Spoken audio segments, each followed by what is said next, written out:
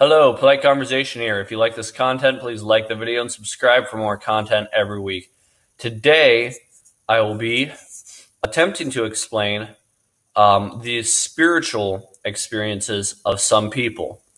Uh, when you use reason and arguments against a lot of Christians, especially, they may say, there might not be a physical reason to believe in God, but I have experienced Him on a personal level. Um, and, you know, I don't really want to take that away from people, but I definitely want people to review why they believe what they do. Um, so, first, uh, in Bible class recently, we have been learning about Reformed doctrine. Um, I have heard that many people in the United States and especially around the world do not even know what Reformed doctrine necessarily is. Um, it descended from the teachings of John Calvin, who believed that people were 100% predestined. God controls who goes to heaven, who goes to hell. Your salvation is not because of you, not because of your free will, um, but because of God's decision. And that obviously brings up some questions. Why does God uh, predestine people to hell in the first place? Uh, why did God make Adam and Eve eat the fruit? Because if you believe in 100% sovereignty, that's what you believe. Um, I think it, what most people believe about predestination, God basically boils down to kind of a sadist, sadistic uh, person who's kind of just creating humans for his own entertainment. That's kind of what predestination makes God out to be. Um, but today we will not be talking about this. We'll be talking about um, this belief and its effect on uh, spirituality. So um, these reformers they believe that you don't choose to be saved. God sends the Holy Spirit on you, and then you're led to believe in Christ, and that's how you're saved.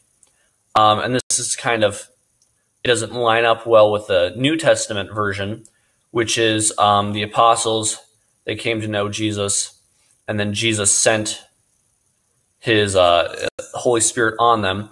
Although you could interpret the text in a different way, um, but this uh, this distinction or this contradiction between these two beliefs is very important.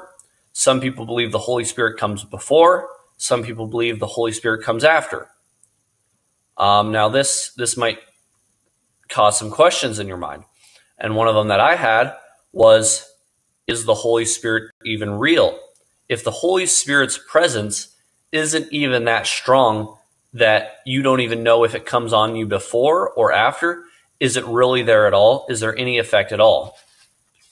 Another thing to realize with um, people's spiritual experiences, um, you kind of need to go in deeper um, and see what they really are usually they're just like an inward feeling.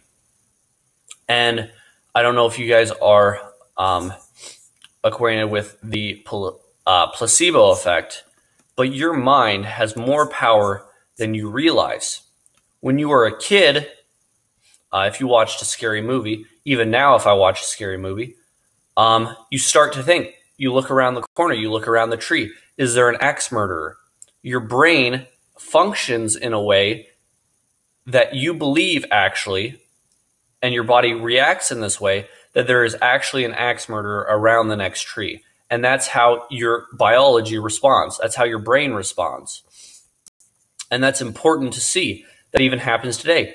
If you believe in God, your brain will function in a way in which you feel God. And another thing to realize is even if it's not a personal experience, when people go to church, they feel something. And I think that this can basically be boiled down to a social experience. Um, I go to church and I'm obviously a skeptic and I feel something. I feel something, but I don't think it's God. I don't necessarily know it's God.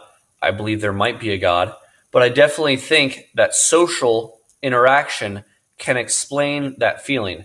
You and a group of people all in one place, all with a common mission, that's powerful. It doesn't necessarily matter what the belief is, but that you all are believing it and striving for it in that one moment. And that's very powerful. but it doesn't necessarily prove um, that God is real. And even if you believe that it proves God is real, it doesn't necessarily exclude other religions because other religions have similar experiences. Um, so, yes, another thing. Um, people often describe their spiritual experiences as something that cannot be explained away. But look at the um, substance of marijuana. Many people, actually, a lot of people who I've come into contact with who have smoked um, marijuana and have done other drugs, they describe it as the most spiritual experience they have ever had. Um, and I'm not saying that your spiritual experience is in, insignificant, but it probably is, unless if it's something super spectacular. And then there are other explanations for it, I believe.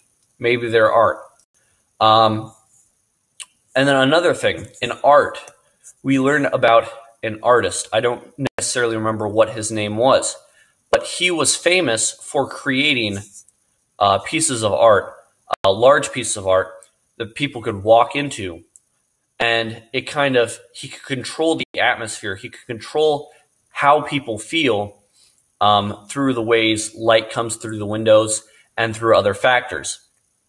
And so if your emotions are that they're they're so easily manipulated, do you honestly believe that the only explanation for that feeling inside your gut when you get in church, do you think the only explanation for that is God? Um, if you like this video, please comment down below and subscribe. I will see you guys next week and have a good week.